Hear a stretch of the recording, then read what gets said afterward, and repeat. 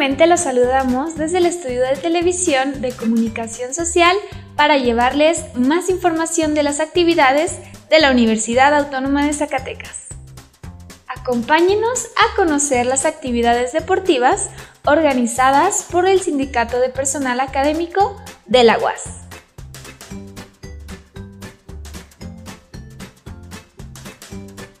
Buenas tardes, mi nombre es Federico Cepeda Bernal, soy el secretario de Deportes del sindicato del ESPAUAS. Eh, estoy a sus órdenes, gracias por invitarme y vivo a la universidad. El cargo es, eh, según los estatutos, es darle eh, actividad física para la salud, tanto a los maestros de la universidad y a las, y a las familias. Así tan cortito es el, lo que viene en los estatutos, pero pues eso abarca muchísimo, ¿verdad? Que es lo biopsicosocial de que podamos ayudar a, la salud de nuestros maestros para que estén listos para dar las clases y elevar el, el nivel académico de la universidad. ¿Cuáles son algunas de las actividades que ha desarrollado dentro de este cargo? Mira, hemos tenido muy buena aceptación. El, eh, se me dificultó el primer el primer año, pero ahorita se acostumbraron los maestros y tenemos, por ejemplo, ahorita el, el torneo de básquetbol. Eh, son 14 equipos varoniles y 4 femeniles. Tenemos el, equipo de, el torneo de fútbol que tiene 8 equipos varoniles y 4 femeniles. Tenemos las clases eh, normales que se dan ahí en el sindicato con Zumba, y yoga.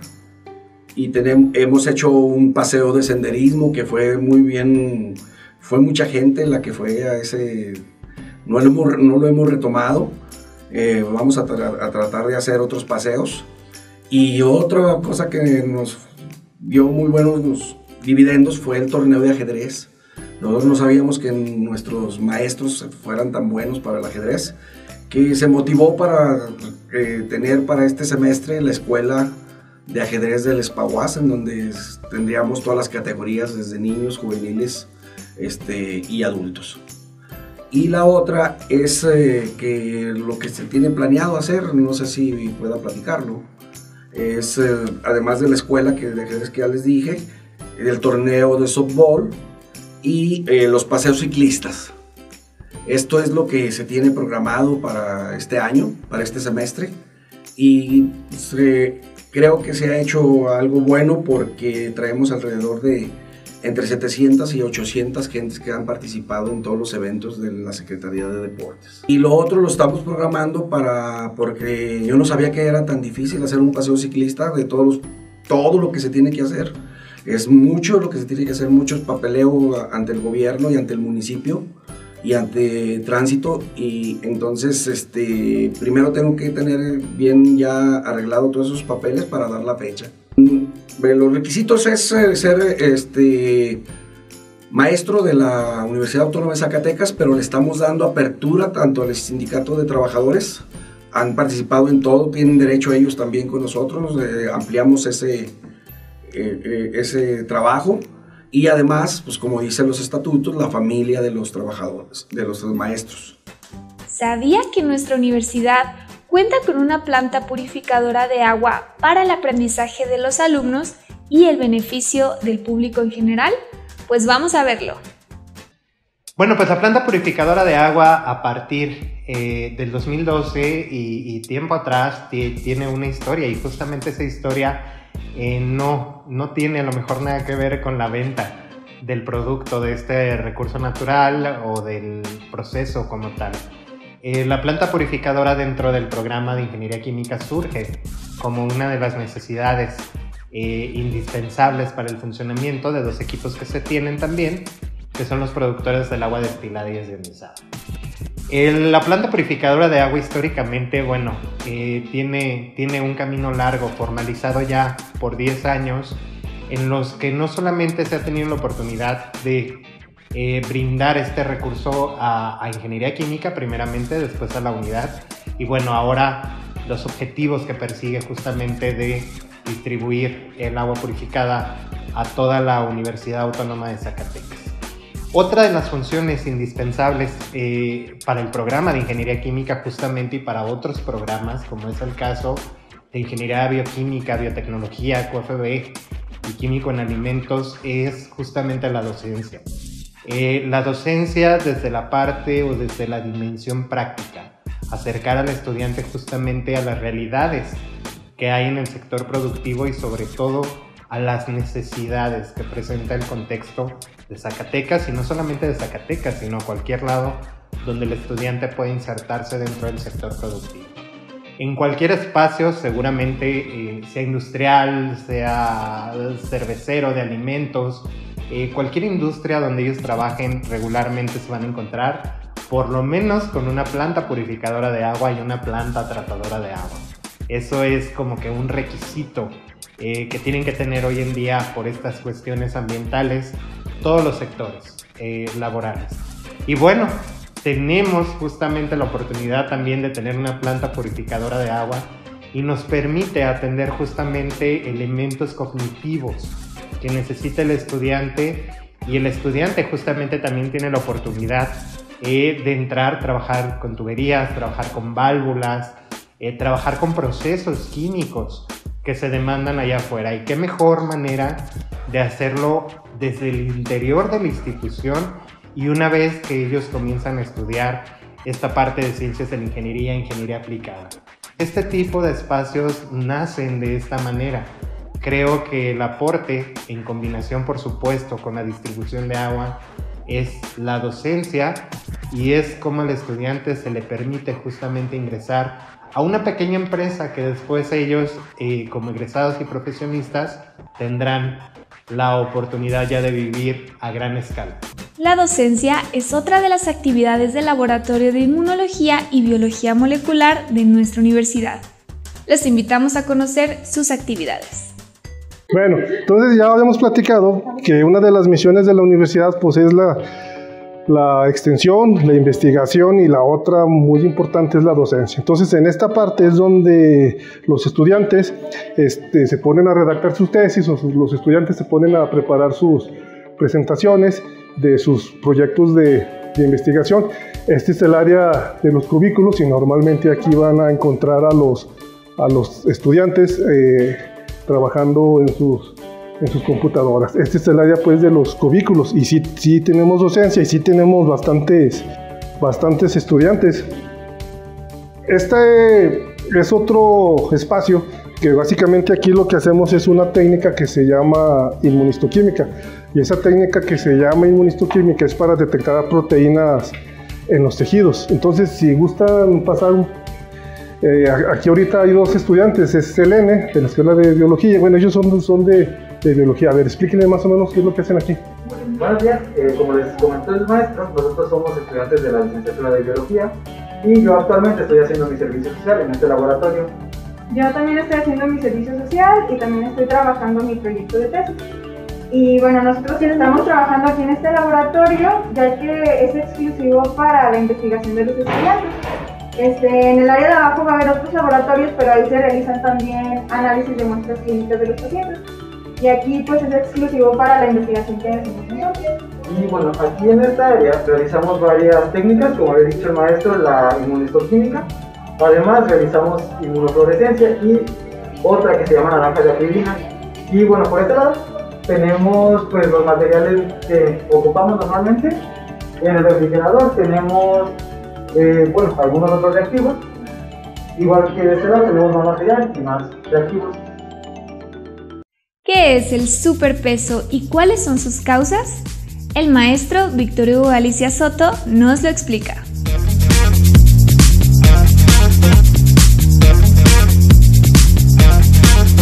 Hola, ¿qué tal? Bienvenidos una vez más a nuestra cápsula de educación financiera con el maestro Víctor Hugo Galicia Soto, maestro de la unidad académica de contaduría, quien nos está respondiendo semana con semana dudas que tengan y que nos manden aquí a la dirección que aparece abajo.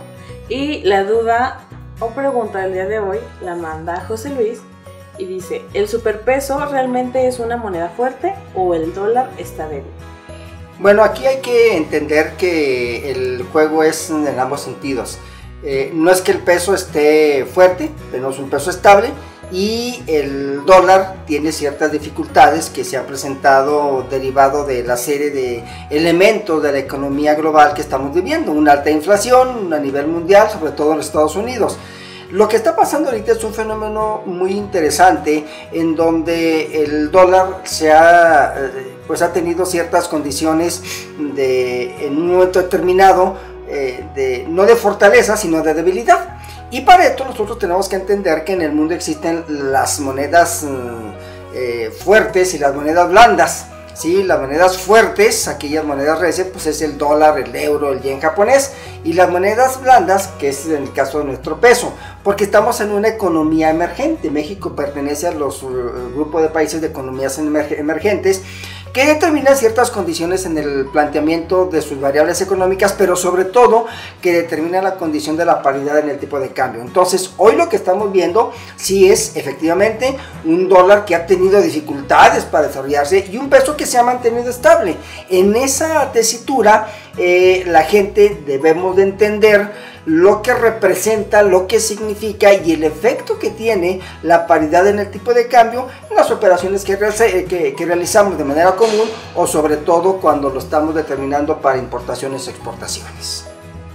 Entonces, ¿cuál sería la revisión del tipo de cambio? La previsión en el tipo de cambio para, el, para este año la podemos determinar en base a la banda de flotación. Y esto es una parte muy interesante que nosotros podemos eh, entender también. Observemos, en el paquete económico de, cada ejercicio se establece una banda de flotación que puede ser de un mínimo de 19 y un máximo de 21, que es el caso para este ejercicio. Entonces el tipo de cambio mientras se mueva en esa banda de flotación 19 pesos mínimo, 21 pesos máximo, pues estamos dentro de lo que está previsto para, para el ejercicio fiscal. La previsión es que si hay un deslizamiento más del 21%, que lleguemos, perdón, del de 21 pesos por dólar, que lleguemos arriba de, de 21, de 22 pesos, entonces nos salimos de esa banda de flotación y nuestro peso va a empezar a depreciarse y a fortalecerse el dólar, que las condiciones que hoy en las que estamos, pues se ve un poquito complicado por lo que pasa en los Estados Unidos principalmente. Maestro, ¿hay riesgo de una devaluación para este año? No creo que haya un riesgo de devaluación, insisto, derivado de la economía de Estados Unidos. Hay que recordar que Estados Unidos trae una inflación histórica del 8% y sobre todo el crecimiento previsto para este año es del 1.7, ya lo acaba de dar a conocer recientemente eh, el gobierno norteamericano. Entonces eso implica que obviamente va a tener dificultades el dólar para desarrollarse, por lo tanto creo que no hay riesgo en esa parte. Bueno, muchas gracias por habernos acompañado una vez más en nuestra cápsula. Muchas gracias, maestro. Les recordamos que tenemos por aquí nuestra dirección y nos vemos hasta la próxima. El posgrado en Ingeniería y Tecnología Aplicada PITEC es un centro de investigación, desarrollo tecnológico, innovación y docencia integrado en la Unidad Académica de Ingeniería Eléctrica de la Universidad Autónoma de Zacatecas. Cuenta con reconocimiento dentro del Sistema Nacional de Posgrado de Calidad SNPC.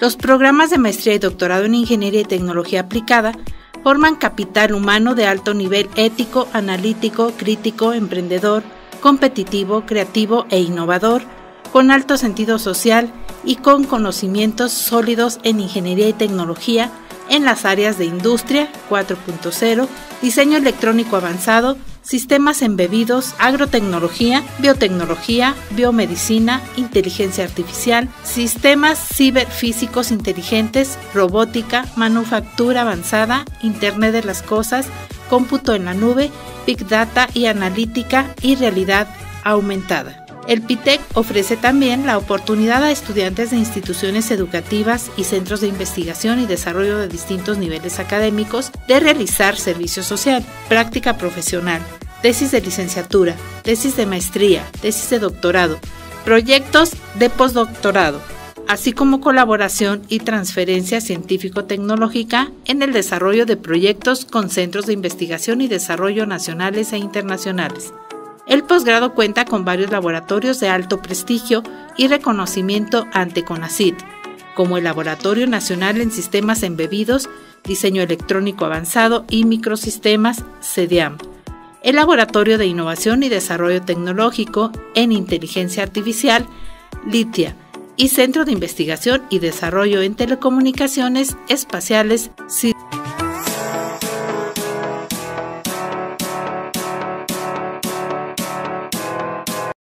A continuación, los invitamos a conocer una nueva publicación académica de nuestra universidad.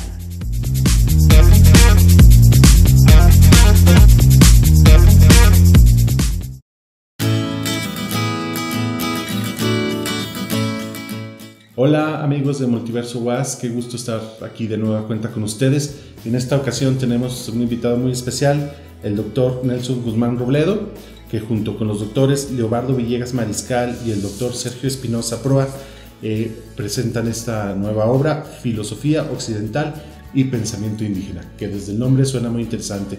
Doctor, este, ¿podrías comentarle al público sobre tu nueva obra? Con mucho gusto, Carlos. Muchas gracias por invitarme a esta cápsula. Bueno, en efecto, este libro, Filosofía Occidental y Pensamiento Indígena, se inscribe dentro de una colección que el cuerpo académico UAS 232, Filosofía y Antropología, ha venido sacando ya desde hace unos dos o tres años. Eh, es el tercer número de la serie Lascaux y eh, en esta ocasión hay una particularidad de este libro, puesto que si bien somos los coordinadores del libro, también somos aquellos que vamos a... Eh, tenemos una invitación a los demás, eh, a, otros investigadores del país y del extranjero. Entre ellos se cuentan figuras reconocidas de manera nacional e internacional, como el doctor Johannes Neurath, el doctor Tomás Pollán, eh, el doctor Osiris González, eh, los doctores Ana María Valle y eh, Marco Jiménez, el doctor Fernando Huesca y el doctor Juan Carlos Orejudo Pedrosa.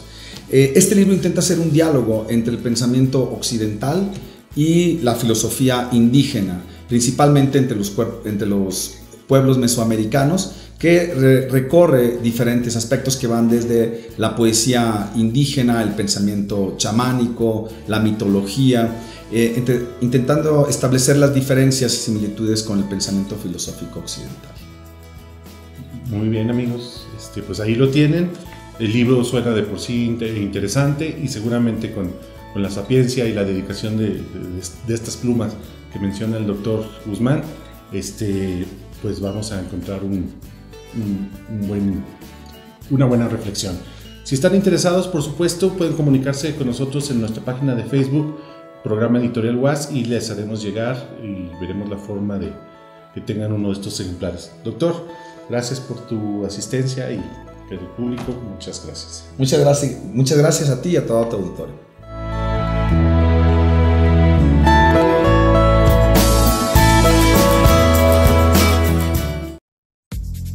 Comer chocolate podría ser más bueno para la salud de lo que creemos. Nuestro noticiero científico nos explica el por qué.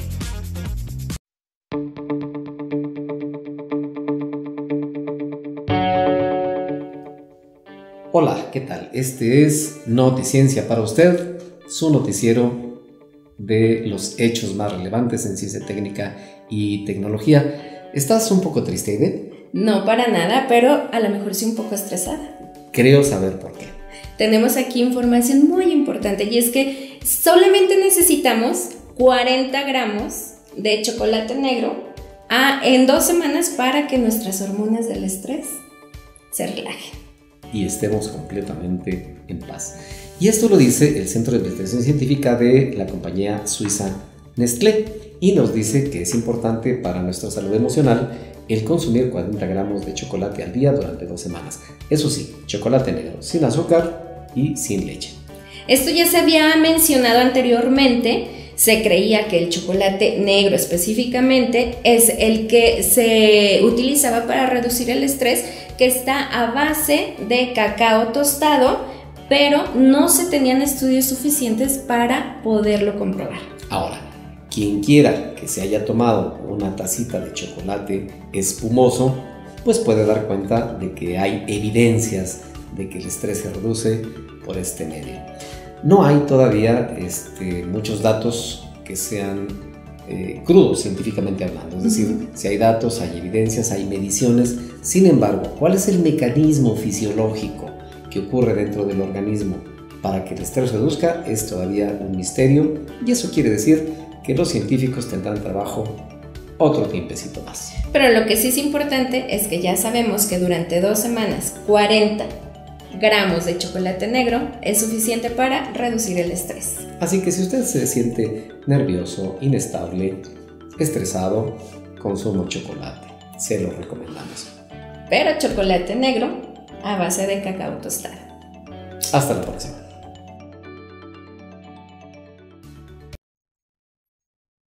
¿Existen buenos o malos contenidos en las redes sociales? José Luis Maldonado nos da algunas pistas para saberlo. Hay un meme que dice, mi generación creció con Jackass, ustedes con TikTok, no podemos ser iguales. El cual me parece uno de los memes con menor sentido de toda la historia de los memes del Internet. Primero porque yo era un adolescente cuando se estrenó el programa de Jackass a finales de los años 90. Y obviamente era fan. Un programa de comedia física real donde los protagonistas arriesgaban su físico y podrían tener varios accidentes con tal de poder hacer reír al público que lo estaba mirando. Esto a través de la cadena MTV. Así que yo crecí viendo este programa e incluso sus películas, como los spin-offs que salieron a partir del programa Jackass. Así que no entiendo la supuesta superioridad moral y generacional que yo debería de tener, como la afirma este meme. Por otro lado, TikTok es una red social o bien una plataforma donde sus usuarios pueden crear contenido y no tan solo ser espectadores. Que sí, hay muchos bailes ridículos, hay mucho lip sync, pero no es algo exclusivo de una generación porque yo veo a gente de todas las edades haciendo esto. Y a fin de cuentas, este tipo de contenido es para pasarla bien tanto creándolo como viéndolo. Así que no entiendo ese meme de supremacía generacional. Cuando también hay contenido muy interesante, muy creativo e incluso reflexivo dentro de TikTok, como todas las plataformas que te dejan crear contenido. Siento que esto es cíclico y hay generaciones que se sienten amenazadas por las nuevas tecnologías, por las nuevas modas o por las nuevas cosas que puedan ir saliendo que son auténticos y que no son posers, ya que creo que en realidad es miedo a todo lo que los pueda sacar de su zona de confort. Y como bien lo dijo alguna vez el abuelo Simpson, sí estaba en onda, pero luego cambiaron la onda. Ahora la onda que traigo no es onda y la onda de onda me parece muy mala onda y te va a pasar a ti. Así que te puedo decir que tengo 37 años y que sí crecí viendo Jackass pero también crecí viendo a mi generación señalando y denigrando a los skates, a los emos, a los hipsters, a los millennials y a lo que sea. E incluso en la actualidad hasta quien usa TikTok. Yo te puedo decir simplemente tú sé fan de lo que quieras vístete como quieras, utiliza las plataformas que quieras y por supuesto también escucha la música que tú quieras, siempre y cuando no afectes a nadie con estas acciones. Y si eres un adolescente, disfruta siendo tú porque es una etapa que ya no regresa. Madurar no significa tener que denigrar a alguien más. Y por supuesto no se pierdan la nueva película de Jackass que se estrena este mes. Jackass Forever. Los invito a conocer la investigación de un alumno del posgrado en Ingeniería y Tecnología Aplicada para reducir la radiación en los estudios médicos.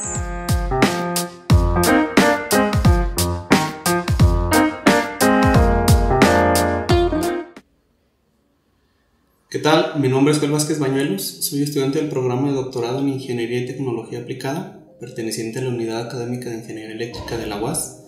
les voy a hablar sobre mi proyecto de tesis, el cual está titulado Estudio de la dosis por la radiación dispersada en tomografía computarizada. Bueno, primeramente, pues la radiación es la emisión o propagación de energía a través del espacio o del medio material en forma de partícula o onda electromagnética. Esta se clasifica en radiaciones no ionizantes, donde se encuentra el wifi, las ondas de radio, las microondas, la luz visible, entre otros, y radiación ionizante, donde se encuentra la mayor parte del ultravioleta, los rayos gamma y los rayos X. Y bueno, una característica de los rayos X es que tienen una gran capacidad de penetración, por lo que se utilizan para el diagnóstico. Y bueno, en este ámbito, pues las tecnologías médicas están en constante evolución y su uso va en crecimiento, permitiendo realizar diagnósticos mucho más rápidos y económicos. Sin embargo, pues está provocado un aumento en la exposición a las radiaciones ionizantes, tanto de los pacientes como profesionales de la salud. Y una técnica de diagnóstico que existe es la tomografía computarizada. Esta tiene varias ventajas como alta resolución, no es invasiva, el tiempo de estudio es corto. Eh, sin embargo, pues como cualquier otra técnica de diagnóstico, existe radiación dispersa. Y esta radiación pues alcanza órganos radiosensibles y puede ah, producir algún efecto en ellos. Por ejemplo, pues una tomografía consiste en girar un tubo de rayos X alrededor del paciente y cada que se obtiene una rotación, se completa una rotación, se obtiene una imagen transversal o corte del cuerpo, lo que permite, por ejemplo, ver un órgano tanto en dos dimensiones, eh, que sería un corte, como en tres dimensiones, que sería el apilamiento de todos estos cortes. Entonces, pues permite dar otro mejor diagnóstico, siendo otra de sus características. Eh, sin embargo, pues una de sus mayores desventajas es que la dosis que se recibe es muy elevada, por ejemplo, en una tomografía de tórax se recibe aproximadamente 400 veces más la dosis que en una radiografía convencional, por lo que pues existe una mayor cantidad de radiación dispersada y puede alcanzar estos órganos radiosensibles. Entonces el objetivo de este proyecto pues es medir la dosis en cristalino, tiroides y órganos reproductores de pacientes sometidos a una tomografía de tórax y poder conocer el riesgo que están recibiendo estos órganos. Una manera de, hacerlo es mediante dosímetros termoluminiscentes, medirlos directamente en los pacientes cuando se realizan en estudio. Cabe resaltar que también se está trabajando en, el diseño de unos lentes y una bata dosimétrica que nos permitirá ser más eficientes, tener medidas más precisas y sobre todo una mayor comodidad para el paciente. Y otra manera de hacerlo es mediante métodos Monte Carlo, pero aquí es necesario modelar todo el fantoma computacional antropomórfico, es decir, que tenga apariencia humana y un tejido equivalente al del cuerpo humano y también modelar lo que vienen siendo los órganos de interés, así como el equipo de tomografía computarizada. Entonces una vez que se tiene todo el modelado matemático completo, pues se procede a realizar la, la simulación correspondiente, donde pues se puede observar cómo la radiación efectivamente se dispersa y alcanza estos órganos. Y bueno, de esta manera vamos a tener tanto las mediciones obtenidas experimentalmente como las, estimadas computacionalmente y así vamos a poder tener una comparación de ambas y poder conocer las dosis y el riesgo al que están siendo expuestos estos órganos en este tipo de estudio.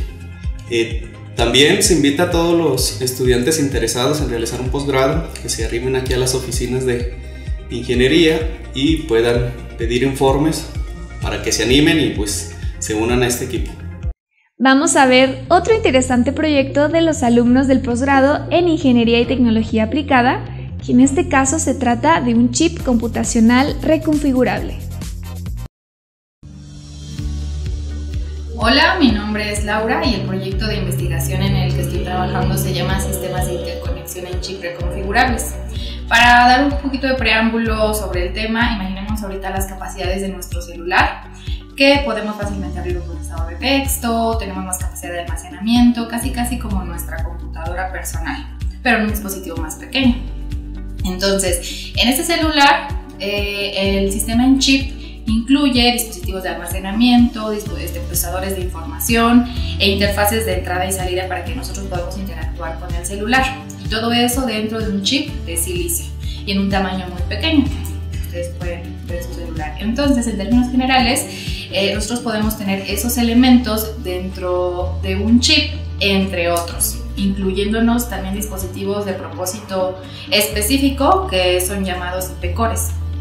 Entonces, en un sistema en chip podemos tener muchísimos, muchísimos elementos de hardware, muchos. Ahora, ya que tenemos más o menos la idea de que es un sistema en chip, también es muy, muy, muy importante la manera en que vamos a eh, poder, bueno, en que ellos van a poder interactuar entre sí, es decir, cómo los vamos a interconectar. Es un tema eh, detallado de, este, y es muy importante saber cómo los vamos a interconectar. Hay varios tipos de, interconexión entre estos módulos eh, que están dentro del chip pueden ser de tipo bus, donde todos los elementos se conectan a través del mismo medio, pueden ser de tipo crossbar, donde se configuran algunos como maestros, otros, otros como esclavos y el maestro se comunica con el esclavo. Entonces, varios maestros se comunican con los esclavos que no están ocupados o también de tipo redes en chip, que hace alusión más a las redes de computadora que ya conocemos que son tal vez de tipo anillo, de tipo malla. Eh, y así. Entonces, también podemos tener una em, este, interconexiones en chip que involucren a varios tipos, ¿no? Como que haya ahí una combinación. Y eso hace que tengamos una arquitectura de interconexión más compleja. Ahora, ¿cuál es la razón de hacer reconfigurables esas interconexiones? Porque tal vez tengamos ocasiones en las que eh, necesitamos modificar la comunicación dentro del chip por situaciones que no tenemos previstas. Entonces eh, tenemos que cambiar algún parámetro, tal vez eh, alguna configuración en el chip para mejorar el, rendimiento, mejorar este, ciertas especificaciones de la comunicación y va a ser posible sin tener que parar la ejecución de ese sistema en chip. Y entonces por eso es necesario reconfigurar. Ahora, ya que podemos, este, ya que tenemos una arquitectura que es este, eh, de interconexión que es reconfigurable, también es posible que después veamos más allá. ¿Cómo es ver más allá? Que estemos monitoreando nuestro sistema en chip, nuestra interconexión en chip, y entonces eh, digamos, ah, y a lo mejor es posible hacer esto, estar monitoreando todo, todo, todo, todo, y así que sea que él mismo se reconfigure. Eso sería un poquito que autoadaptable. Entonces eso sería como un paso más allá de, la reconfiguración. Y, y ese eh, es el tema en el cual ahorita estoy este, investigando, mi tema de tesis de, posgrado.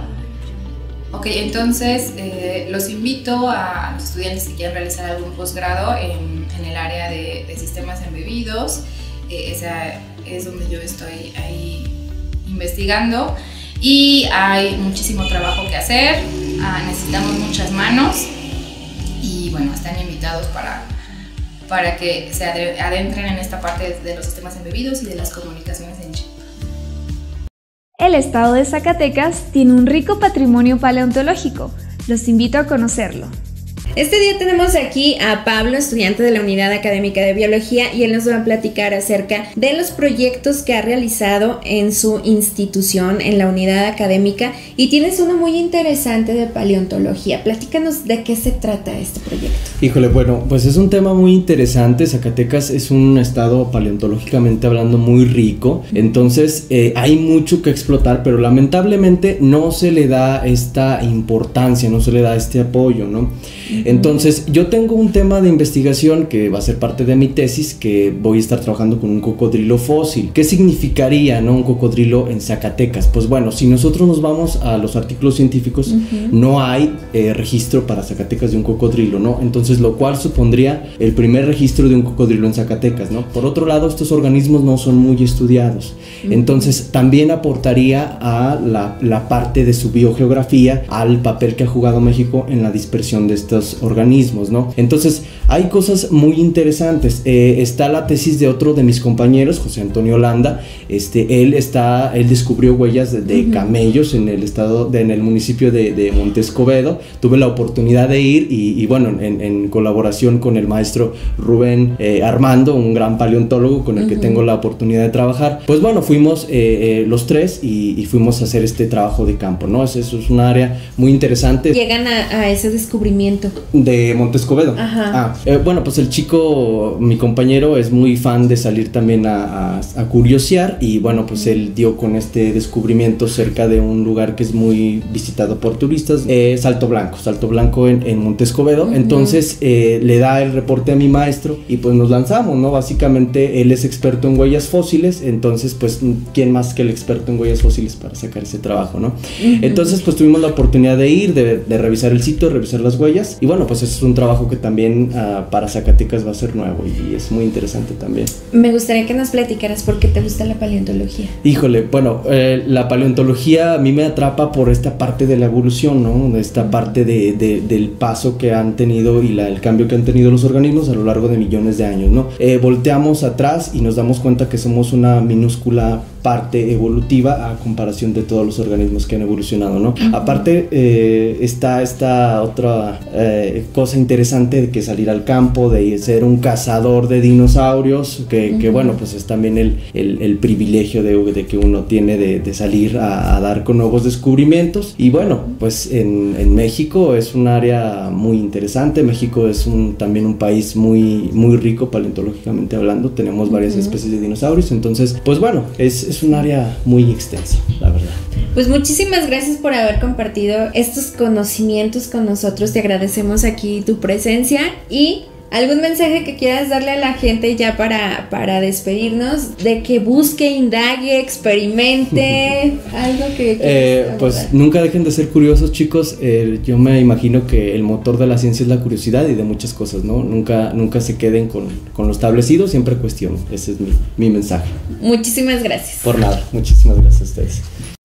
¿Cuál es la función del servicio social en nuestra universidad? Acompáñenos a saberlo.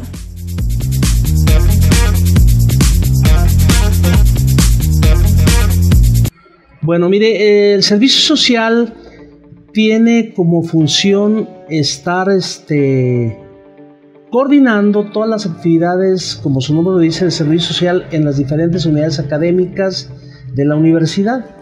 Como ustedes saben, el servicio social es una actividad que todo mexicano, que todo universitario debe de realizar de manera gratuita y de manera obligatoria porque así lo mandata la Constitución Política de los Estados Unidos Mexicanos en su artículo quinto. Y entonces nosotros lo que estamos haciendo es tratar de que todos los alumnos, todos los prestadores de servicio conozcan el reglamento de servicio social de la universidad, porque nos hemos dado cuenta que muchos jóvenes no conocen sus derechos y sus obligaciones como prestadores de servicio. Entonces nos hemos dado a la tarea desde esta administración que encabeza el doctor Rubén Ibarra Reyes, nuestro rector, de salir a las unidades académicas y hacer un curso de inducción en donde les damos a conocer a los jóvenes y también a los responsables de servicio de las unidades académicas en qué consiste el reglamento. Lo discutimos, lo analizamos y el gran objetivo es que todo mundo tenga claridad en cuáles son sus responsabilidades y sus obligaciones al llevar a cabo su servicio social. En este curso también les damos a conocer las diferentes modalidades que existen para llevar a cabo su servicio social, ¿verdad? Cuáles son las instituciones en las cuales los prestadores de servicio pueden llevar a cabo su servicio social, como son instituciones públicas, privadas, asociaciones civiles, este, instituciones educativas, excepto partidos políticos. El joven tiene la libertad de escoger de acuerdo a su perfil y de acuerdo a los convenios que existan para poder elegir su servicio social, dónde querer hacerlo, Y nosotros somos la instancia que al final de que el joven, el prestador de servicio, concluye su actividad, nosotros les damos su liberación definitiva, el documento que acredita que ya cumplieron con esta actividad. La violencia escolar es el tema de nuestra próxima cápsula.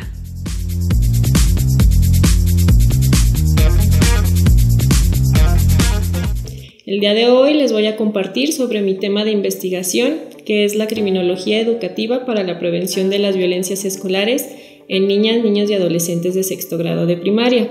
El objetivo de este trabajo es que niñas, niños y adolescentes desaprendan la noción que ellas y ellos tienen sobre la violencia. El trabajo se divide en tres partes. Primero, se tiene que explicar lo que es la criminología, la mayoría de las veces el concepto de criminología es tergiversado ¿por qué? porque lo tomamos como una palabra que puede ser muy sangrienta, muy fuerte, lo peor que se puede escuchar en esta sociedad. Cuando no, no es así. Un antropólogo italiano la define como la ciencia de la generosidad y es verdad. ¿Por qué? Porque se preocupa por sectores de la población que han sido estigmatizados en su mayoría. Por lo general, se juzga mucho a la persona que ha cometido actos violentos y ellos y ellas tuvieron algún motivo para hacer así. Por ende, se explica que la criminología no es algo malo, no tiene nada más que ver con muertos como comúnmente se cree, que es erróneo inclusive, y sobre todo dentro de la criminología se están empezando a crear nuevas especializaciones. Está la criminología corporativa, criminología ambiental, clínica y en este caso compete hablar de la criminología educativa. Como su nombre lo dice, se tiene que trabajar con estudiantado, profesorado para prevenir violencias. Prevenir violencias escolares, este concepto también puede resultar confuso ¿por qué? porque cuando se habla de violencias escolares comúnmente se cree que se está hablando del bullying, cuando no es así. Científicos chilenos y franceses han creado triadas de la violencia en donde explican que en efecto hay violencias que se generan dentro de la escuela, también que se reproducen en la escuela y violencias externas a la escuela que llegan a afectar a ese mismo ámbito. Por otra parte, también se hace una evaluación histórica sobre cómo surgió el concepto de riesgo en las escuelas. Todo comenzó debido a los desastres naturales, haciendo especial énfasis en el terremoto del 85 que fue muy conocido en el país. Posteriormente surgieron conductas que fueron alterando el orden social dentro de las escuelas y se empiezan a crear programas preventivos en cada sexenio del país. Como último punto, se realiza una intervención en una escuela primaria de aquí de la ciudad de Zacatecas. A través de diferentes sesiones se les explica a niñas, niños y adolescentes lo que es la violencia. Hay que aprender a diferenciarla de la agresividad entonces es muy interesante porque tú te das cuenta qué es lo que ellas y ellos piensan sobre el concepto. Por lo general lo relacionan a violencia física, violencia psicológica, que es lo más común, pero también tienen muy arraigado lo que está pasando actualmente dentro de la sociedad, que tiene que ver con cuestiones de delincuencia organizada. A través de este trabajo, pues uno se va dando cuenta de cómo también se les dificulta la resolución de conflictos, cómo ellas y ellos son víctimas de violencia intrafamiliar, entre otras cuestiones. A través de la experiencia que se tuvo con niñas, niños y adolescentes, se pudo observar que ellas y ellos efectivamente viven en situaciones de violencia que muchas veces las y los adultos no podemos manejar de una manera adecuada. Por eso se cree conveniente que niñas y niños deben de aprender a manejar efectivamente sus emociones, pero también a ser personas resilientes. Con eso se concluye las sesiones. Entonces, ellas y ellos ya son conscientes de que la violencia no es algo bueno en sus vidas, pero que a pesar de todas esas adversidades, ellas y ellos deben continuar. El doctor Raúl Sosa de la Unidad Académica de Docencia Superior nos reseña cómo es el regreso presencial a clases en sus programas académicos. Sí, este semestre que comienza, agosto-diciembre 2002, eh, comenzará totalmente en presencialidad en tres de los programas, en la maestría en Educación y Desarrollo Profesional Docente, en la maestría en Investigaciones Humanísticas y Educativas y en el doctorado en Gestión Educativa y Políticas Públicas. Los tres programas se ofertan eh, de forma presencial, por lo que ahora desde el inicio se estarán trabajando de esa forma. La maestría en tecnología informática educativa es una maestría que desde su registro se oferta en línea y ellos pues de esa forma los estudiantes seguirán trabajando por medio de las plataformas y de las aplicaciones en línea que se han venido trabajando desde sus inicios. Sí, bueno, los cuatro programas son programas muy demandados. Eh, la maestría en investigaciones humanísticas y educativas, que es la que tiene más antigüedad, es una maestría generacional cuya convocatoria se oferta cada dos años.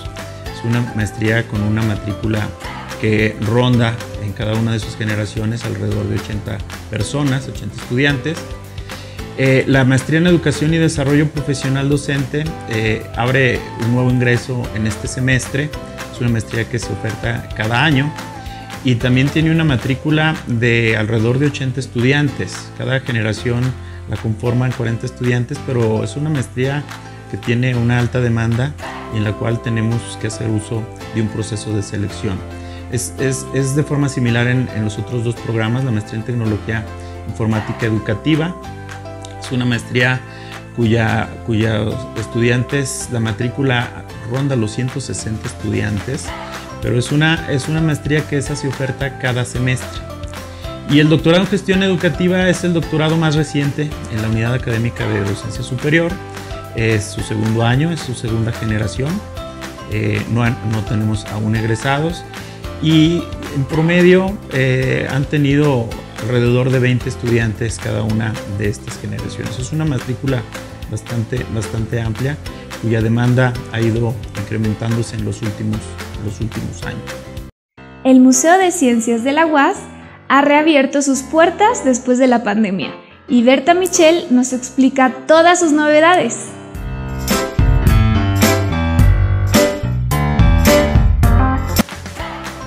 Estamos ya abriendo las puertas al público en general con algunas eh, nuevas eh, modalidades, ya que eh, siendo espacios que son muy reducidos, pues no vamos a poder atender grupos grandes, pero hemos dispuesto un sistema de video para que se den visitas guiadas en automático. Eso por un lado. Por otro lado, les platico también que aprovechamos la pandemia para darle una refrescada a la museografía del museo. Agregamos además este, actividades en cada una de las salas y eh, abrimos una sala nueva, una sala dedicada a la física moderna que básicamente tiene como estrella una mesa de rayos X del siglo XIX además de unos tubos de cruz. Esos tubos nos enseñan cómo se comportan las cosas más chiquitas que conocemos, que son los electrones. Es más, los electrones son tan chiquitos, tan chiquitos, que ni siquiera sabemos qué tan chiquitos son, porque nuestros microscopios más potentes no alcanzan siquiera a, a verlo. Entonces ustedes se preguntarán, pues, ¿cómo saben que existen? Pues sabemos que existen por diversos fenómenos en los que son protagonistas desde la electricidad que todos usamos en la casa hasta algunos experimentos que vamos a hacer aquí en nuestra nueva sala de física moderna. El museo está abierto de 10 de la mañana a 6 de la tarde y por supuesto la entrada es absolutamente gratuita. Si buscan trabajar con grupos escolares, que básicamente es nuestro público eh, target, entonces les agradeceríamos mucho si nos llaman para agendar una visita al 922-2924 extensión 117. Una vez más, les agradecemos su presencia en esta emisión de Multiverso Was. Sigan escribiendo sus comentarios a nuestra página de Facebook y los esperamos en nuestra próxima emisión. ¡Hasta pronto!